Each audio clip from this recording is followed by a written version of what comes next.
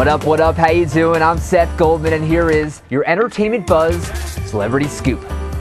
First up, your guess is as good as mine as to whether Madonna and Guy Ritchie are headed for Splitsville. The director arrived from London to New York where the Material Mom is prepping for an upcoming tour, and despite being ringless, headed straight for her apartment. The couple hadn't been spotted together for weeks, and reports say Madge has hired a divorce lawyer.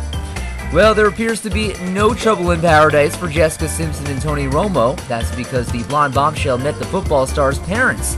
All of them had dinner at an Olive Garden. Yes, Olive Garden in Wisconsin, near where he grew up. So, uh, what did Jessica have?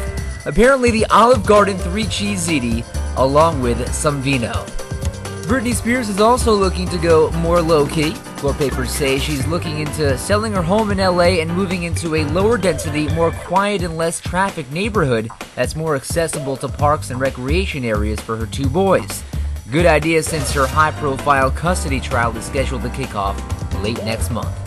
And Lindsay Lohan's dad would rather not think about legal troubles right now. Reports say Michael provided a DNA sample in order to shoot down a woman's claim that he fathered a daughter with her while he was separated from Dina back in the 90s. Results of the paternity test will be ready in less than two weeks.